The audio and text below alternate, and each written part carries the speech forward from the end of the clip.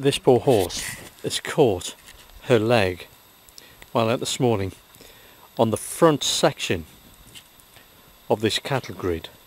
She's lost her balance. Her weight has moved forward, lifted the back of the cattle grid on top of the front of the cattle grid. Her leg has now gone through both and is completely snapped with a compound fracture. We can't get her out. Obviously Allendale Estates have put this in, there's a huge gap there. We can't get her out at the moment. The vet has put this poor horse down. Now we've asked time and time again for Allendale Estates to put a gate along here. We don't even need a cattle grid, we just need a gate. Um, and all they did, they put a stile. And what the uh, Allendale Estates have done and their gamekeepers is to circumnavigate that. We used to come through this gate here by Mrs Day's land. This gate now has a padlock right there. So we can't use this gate. This barbed wire here was actually this high. It was at the top of these posts here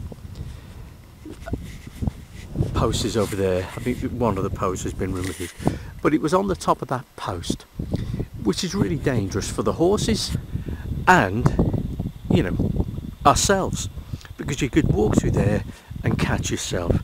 It's a deliberate attempt by Allendale Estates and Mark Little specifically to prevent anybody with horses from using this green lane. This green lane has been used for hundreds of years with, by, by horses. We, we have a photograph from the early 1900s of the postman delivering mail along this very track. Hope Head, another half a mile down there, they've got horses. They can't get run off their land. This is absolutely scandalous and absolutely ridiculous. This poor horse now has lost her life because Allendale Estates bully the locals. Absolutely disgraceful. And here we have this terrible, terrible fracture on her lower leg.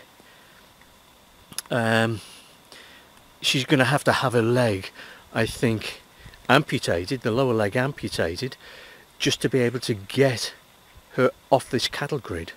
Absolutely disgraceful.